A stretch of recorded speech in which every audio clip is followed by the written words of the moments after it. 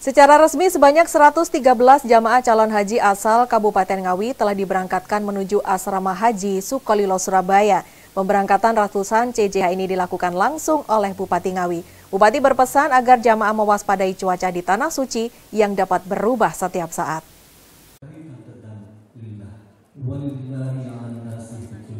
Sebanyak 113 jamaah calon haji atau JCH asal Kabupaten Ngawi telah diberangkatkan menuju asrama haji Sukolilo Surabaya. Secara keseluruhan terdapat 115 JCH asal Ngawi, namun dua JCH terpaksa tertunda keberangkatannya, yakni atas nama Rosmiati karena sakit dan juga Samsyiah yang masih terkendala penyelesaian proses pembuatan visa. Pemberangkatan ratusan JCH ini dilakukan oleh Bupati Ngawi Oni Anwar Harsono dari Pendopo Widyagraha Selasa petang. Bupati juga berpesan dalam rombongan JCH kali ini terdapat 53 ASN yang dipastikan telah menyelesaikan proses izin cuti melalui Badan Kepegawaian, Pelatihan dan Sumber Daya Manusia Pemkap Ngawi.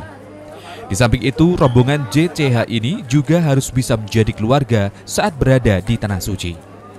Terlebih dengan kondisi cuaca yang sering berganti-ganti setiap waktu di Tanah Suci, maka harus dapat diantisipasi, sehingga kesehatan jemaah juga menjadi prioritas yang harus diperhatikan. Tapi banyaknya ASN yang ikut jemaah haji tadi untuk uh, pelaksanaan pemerintahan di daerah seperti apa Pak? Oh ya, itu kan mesti mekanismenya kan bisa.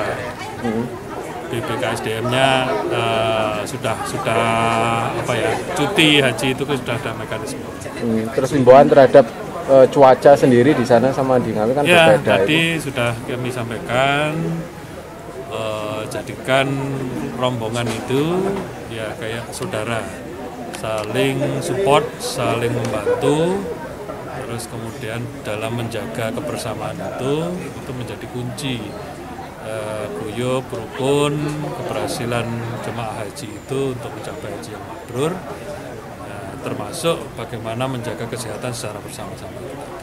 Seperti diketahui, rombongan jemaah calon haji asal Ngawi masuk gelombang pertama kloter 7 yang dijadwalkan untuk melakukan penerbangan ke Tanah Suci setelah tiba di asrama haji Sukolilo bersamaan dengan JCH asal kota dan Kabupaten Madiun.